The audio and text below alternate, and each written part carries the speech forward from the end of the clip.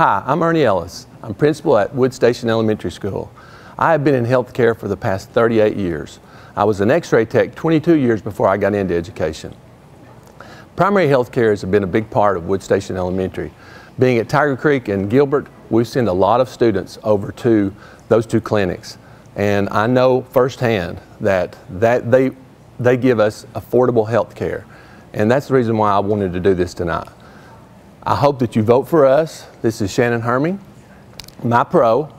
I am not the star, but I'm going to attempt to be one. so please come vote for us and help us raise money for primary health care. Okay, so what we're going to do is we're going to start with a basic step. Okay. The men always start with their left foot. The Okay. women always start with their right foot. And my left foot is This side. this side, This okay. one, yeah. Okay, gotcha. Okay, so we're going to take a step to the left, back to the right, and we're going to rock back and then forward. Good. Okay, that's the basic step. Okay. So we're to do it again. Ready? Okay. Left, right, rock, and back. Y'all notice the hip action? It's really good. Okay. So whenever you take your step back, all you're doing is you're transferring your weight from one foot to the other. You don't want to rock too far back. Okay. You just transfer your weight. Okay? Gotcha. Step. Right. There you go. Rock. Step. There you go. Yes. Whew.